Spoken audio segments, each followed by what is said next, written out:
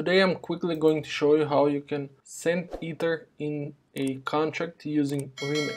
So I have this send ether contracts with a get balance function that just returns the ether balance of the contract. And for any contract to receive ether, it either has to have the receive external payable built-in function or a fallback external payable function. We'll go with the receive function and I'll quickly deploy this contract see that it has a balance of 0 ether and to send ether inside this contract I'll just choose an account like I already have. Just choose 2 ether or something like that and click on transact. If you pull up the terminal we'll see transaction was successful. And now if I click on get balance you can see I have 2 ether represented in wei and this that's why it has a lot of digits